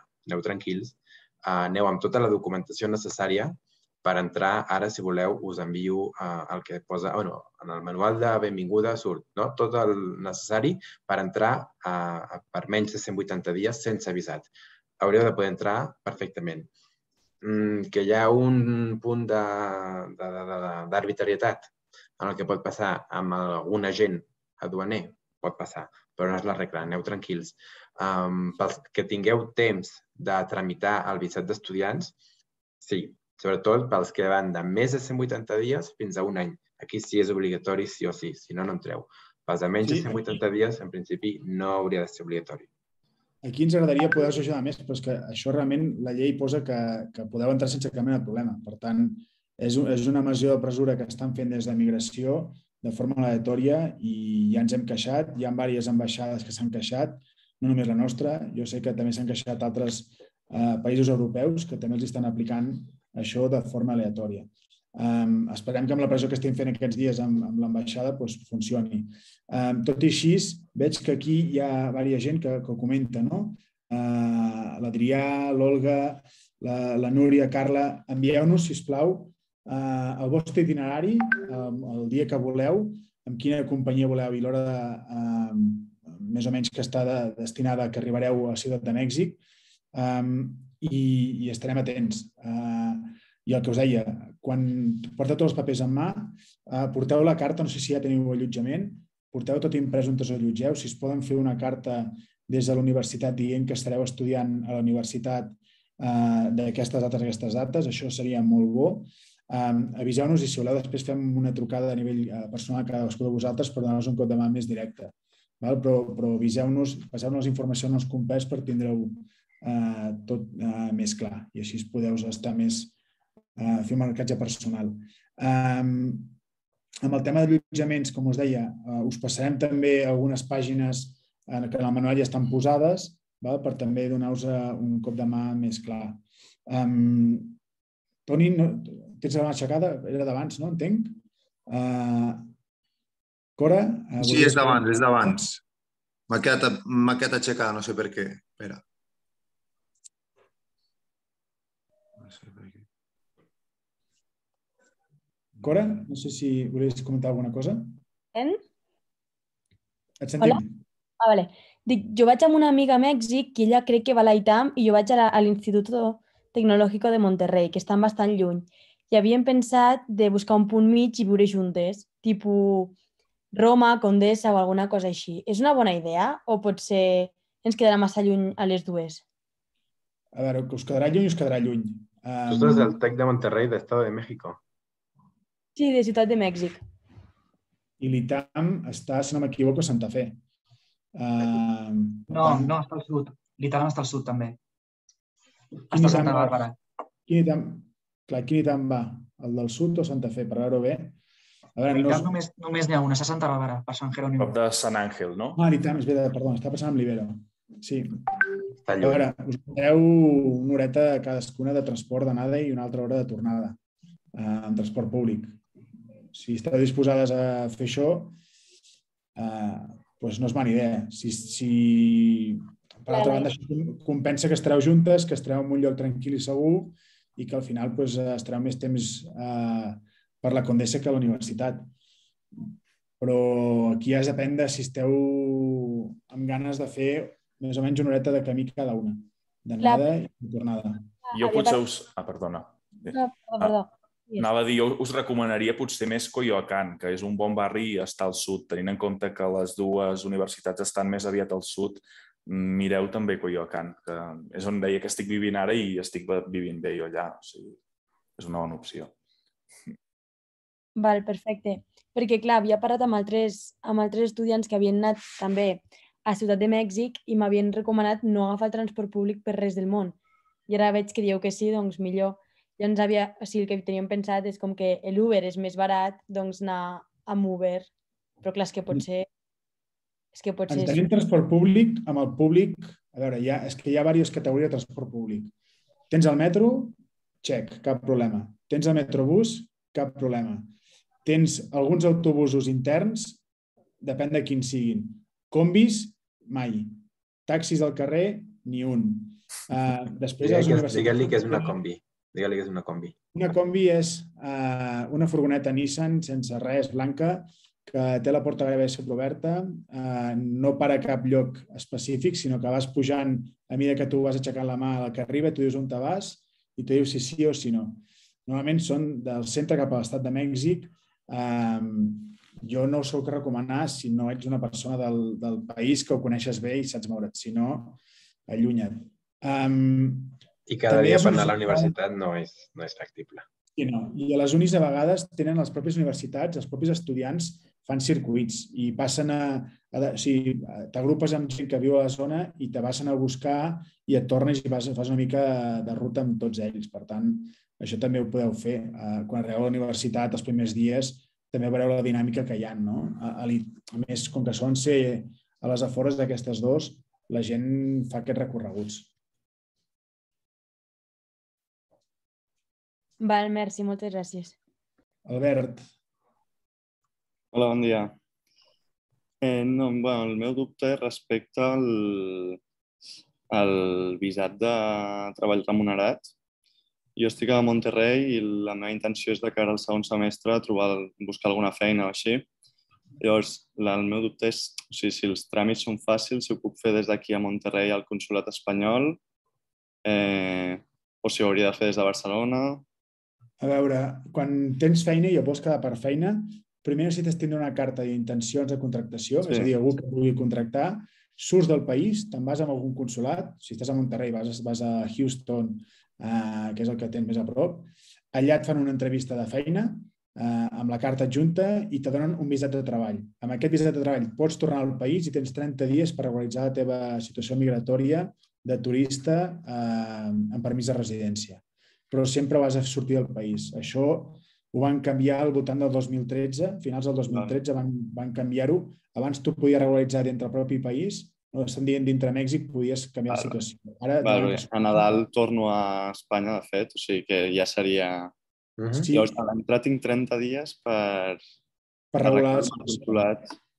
Sí, vale. si, si al final, i, i tant, tant tu, Albert, com la resta, si després voleu regularitzar les coses al, al consulat a, a Barcelona, aviseu-nos, tenim molt bona relació amb la gent del consulat Mèxic a Barcelona, us podem donar un cop de mà perquè ho faci més ràpid, perquè al desembre és quan, entre que hi ha vacances, que tenen, tothom torna i vol fer els visats, a vegades no hi ha hores.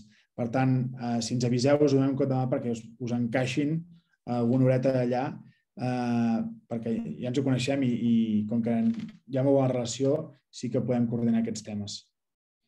Perfecte.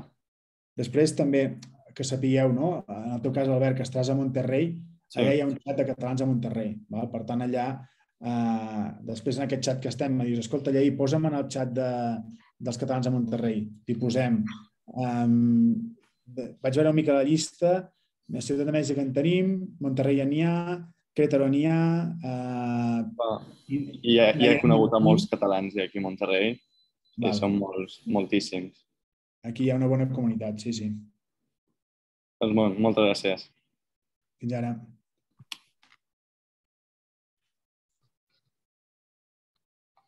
Algú més?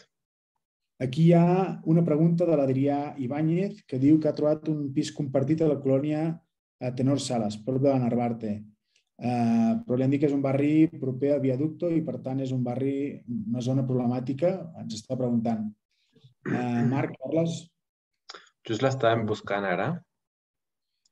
És a l'altra banda del Garín. Centro Médico. Al nord de la Narvarte, tocant el viaducto. No. Uh, està al costat de Parque Delta. No, no és tan complicada. No. No.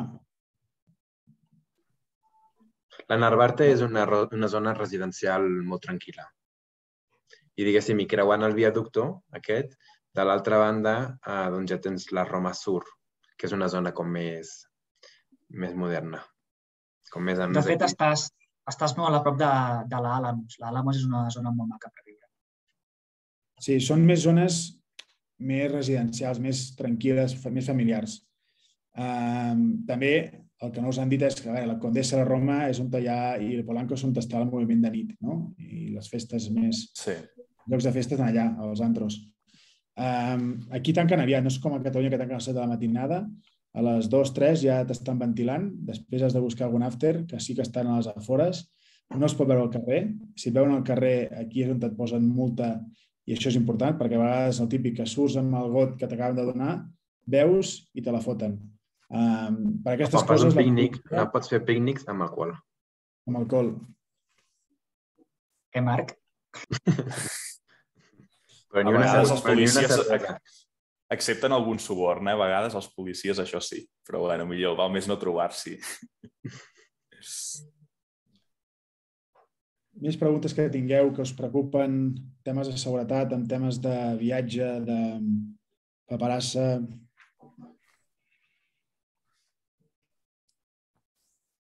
No? En tot cas, si, si més endavant tinguéssiu preguntes, ja sigui via mail o sigui via el xat que, que hem creat, eh, feu-nos arribar. Intentarem ser el més fàcil possible la informació, més personalitzada. Eh, intentarem trucar-vos o ens enviar un missatge i donar-vos-la. A veure, Núria, la meva amiga i jo estudiem a l'Ibero. Ens recomaneu alguna zona a prop per viure? Uh, a l'Ibero sí que això, ara si no m'equivoco, això sí que és Santa Fe. Uh, allà hi ha bastants, bastants pisos uh, d'estudiants. Um, jo, per defecte, el que us diria és aterrisseu, aneu, busqueu un allotjament d'un Airbnb uns dies i a la universitat mateix trobareu els paperets d'informació. Uh, si no, també des del Consell d'Estudiants us poden donar també informació de, de pisos o de, de zones. Uh, però també mirarem i us passarem informació d'aquestes zones. Um, no fa falta allotjament perquè et donin visat. Només tinguin el permís de la universitat conforme sou estudiants que acceptats a la universitat, amb això ja, ja en teniu prou. Això ho preguntava en Sergi. Però quan entreu a migració a l'aeroport, aquí sí que us demanaran allotjament. Sí, Podem allotjament. posar una adreça. Sí. posar una adreça, això, si no en teniu, a veure, arribarà a algun lloc. Si encara que sigui un hotel o un Airbnb uns dies, eh, poseu aquella. Eh, però repeteixo, aviseu-nos els casos que aneu arribant per poder-vos anar donant consells més, més directes i més personalitzats. Sí, una adreça on aterrar d'un Airbnb sí ja ho haureu de tenir pels primers dies, com per Sí. justificar l'arribada i després doncs, ja busqueu una residència ja més permanent.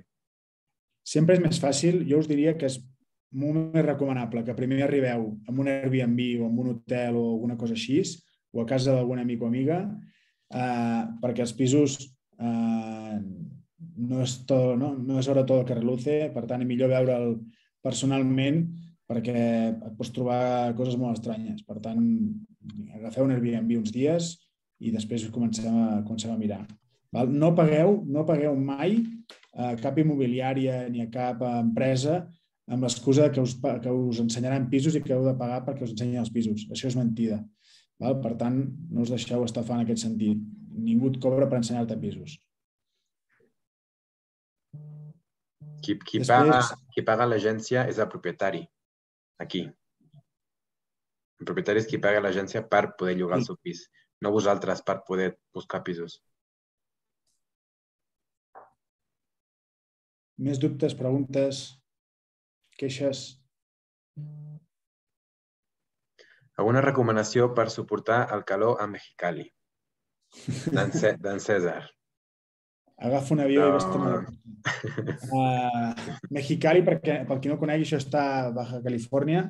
Uh, és la capital de Baja Califòrnia. Està per sota a nivell del mar i en diuen l'infierno mexicano. Allà, pues, pato, la, el menjar famós és el pato a naranja, no? el pato laqueado, és el més famós perquè hi ha una comunitat xina interessant. Hòstia, intenta... Jo et diria anar a les platges de Tijuana, però són molt lletges. Potser vés a Ensenada. I pel dia a dia una margarita. Ben fresca. Després també, eh, no us diguem on anireu, eh? perquè coneixem bastants el territori, o sigui que si aneu a diferents ciutats, diguem-nos tips, perquè hi ha algunes que són més o menys segures o més o menys còmodes i poc o molt coneixem gent. Una pregunta. Sí, Um, tot i tenir visat, recomaneu vol d'anada i tornada? Perquè en principi amb el visat no es necessita vol d'anada, ai, de tornada. és imprescindible. Si no tens vol de tornada, moltes ja no et deixen ni pujar, eh, perquè la majoria a migració, si no portes vol de tornada, no deixa entrar. I per tant, l'aerolínia ja no deixa ni sortir d'on estiguis. Sense vol de tornada... Sí, a mi al consulat em, va dir, em van dir que no es necessitava vol de tornada, que amb vol d'anada ja estava, però... Bueno, jo, jo de fet vaig venir sense, sense vol de tornada. Eh? Estic aquí, tinc visat de resident temporal, clar, no és d'estudiant, Eh, però resident. és el resident, clar, suposo que és això. Si tens residència és molt més fàcil. Si, si no tens residència... És com la loteria. Quants més números compris, més fàcil pot ser que et toqui, no? Doncs si eh, no tens vol de tornada, si no tens l'avisat, si passes més de 180 dies i suma i sigue, doncs és més fàcil que després et diguin eh, cap a casa. Per tant, intentem comprar com menys números de loteria millor eh, i creuar els dits. Jo diria, en aquest cas, però, coses que puguis fer tu i que puguis assegurar-te és un vol de, de tornada. Sempre pots canviar. És a dir, Comprar-lo obert. el pots comprar i, i poses una data i després pagues una miqueta i el canvies. Val? No, això no hi ha problema i no t'afectarà. A no ser que et passis dels dies que et posa la teva targeta. Um, quan entreu al país us donaran una targeta, val? que és la, la visa de, de turista. Això s'ha de guardar fins l'últim dia. Sense, I això ho heu de tindre com un tresor dintre del passaport. Si aquesta targeta no la teniu, i aquí, em sembla que tinc per aquí alguna, Es diu forma migratòria. us donen això, val? És Això un és el us donaran. resguard de la forma. Això eh, us ho donen, normalment es queden una, una part ells i l'altra és la que deu vosaltres. Això és imprescindible guardar-ho. Sense això, eh, malament, perquè qualsevol control de carretera ordinari eh, d'un municipi a un altre o d'un estat a un altre, amb els autobusos t'ho demanen. Eh, I si no ho tens, eh, ens poden portar algun susto, com que t'aportin al centre de de deportació. Per tant, ens ha passat, us dic perquè ens ha passat. I estigueu tranquils, porteu els papers i ja està, no, no passa res. Si us passéssiu per 10 dies abans de tornar, escolta, pagues una multa que són 540, 595 pesos i tant tant, i no passa res. Podeu tornar a entrar més endavant. Si us passeu de molt, jo us diria sortiu i torneu a entrar, perquè ara mateix s'estan posant eh, molt rectes amb aquest tema. Per què estan així? Estan així perquè com que no van tancant fronteres, eh, molta gent va vindre a Mèxic amb l'excusa de turista i s'ha quedat. I s'ha quedat de forma irregular i això crea bastants conflictes. Per tant, ara estan intentant eh, buscar solucions i estan buscant molt eh, aquest tema de regularització amb aquest paper. Per tant, important que això ho guardeu com si fos or, feu-li una foto i igual al passaport. Feu una foto del vostre passaport eh, per sempre eh, en còpia. Val? I el deixeu a casa amb caixa forta i només feu servir quan heu de viatjar d'un lloc a l'altre. Monterrey és igual de segur que DF, sí. Uh, Monterrey. Si després voleu agafar carreteres cap al nord, cap a la frontera, les fronteres, ja sigui Mèxic, sigui qualsevol país del món, sempre són complicades. Una frontera per si sola és complicada. És un trànsit de, de passatgers d'una a l'altra. Uh, per exemple, la frontera, la frontera de Monterrey, la frontera de Mexicali, la frontera de Ciudad Juárez i la Tijuana són les més transitades. La Tijuana és la més transitada del món. Uh, per tant, són, són sempre complicades. Hem d'estar atents, no, no ens ha de passar res, però tampoc eh, no, que no se'ns vegi gaire, que no se'ns noti que som estrangers. No? Eh, en, aquest, en aquest sentit, aneu, aneu en compte amb això. Si perdeu roben l'FM o el passaport, ens aviseu correguents, eh, l'FM es paga la multa a l'aeroport eh, i vas, dius, sempre que tu portis la denúncia, per fer una denúncia, ojo, perquè la denúncia paciència tardareu de 3 a 6 hores a 8 hores, depèn de la comissaria qui us toqui, però és important fer denúncia. Amb la denúncia, un cop la tingueu, us podem donar un cop de mà perquè eh, l'ambaixada eh, us ajudi a fer el passaport. Eh, hi ha dos tipus de passaport. El passaport urgent, que és si heu de marxar en breu, us fan un passaport per 3-6 mesos, màxim un any, i després hi ha el passaport re- regular, que és el de 10 anys. Val? Eh, si us el roben el primer dia i teniu sis mesos per endavant, doncs farem que us donin el passaport de 10 anys. Si us el roben eh, 15 dies abans de marxar, farem mans i mànigues perquè us donin ni que sigui un salvoconducte o alguna cosa per poder anar eh, en vol directe a l'estat espanyol. Um, però sempre amb la denúncia en mà és més fàcil que quan aneu a migració això us ho puc pagant, us podeu renovar, si no hauria de sortir del país. Val? Per tant, sempre és important fer la denúncia en aquest sentit.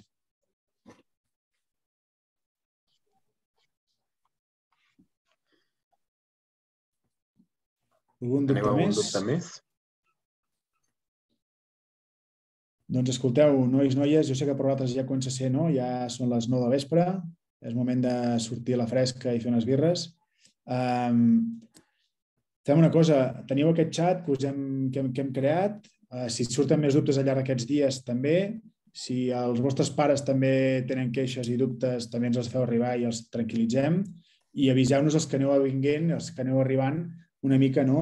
En aquest cas, eh, eh, explicar-nos quin vol fareu, quin és el vostre recorregut per estar més atents i que i podeu acompanyar i que tot vagi, vagi bé. Vale? Doncs moltíssimes gràcies a tothom. Ara us enviarem un correu amb el manual perquè el tingueu tota la informació completa, amb el gràfic sobre els terratrèmols i un par de tips d'informació general. I com comentava el delegat, teniu el xat de WhatsApp per estar tots en contactes i anar, i anar resolent dubtes. Ja hem rebut alguns correus de, de l'Adrià i d'alguns més i ara anirem contestant-los un per un perquè tingueu la informació completa i, i qualsevol cosa ja sabeu, ens podeu contactar per tots aquests mitjans. Doncs moltíssimes gràcies a tothom. Que vagi molt bé. Que vagi molt bé. Adéu. Adéu.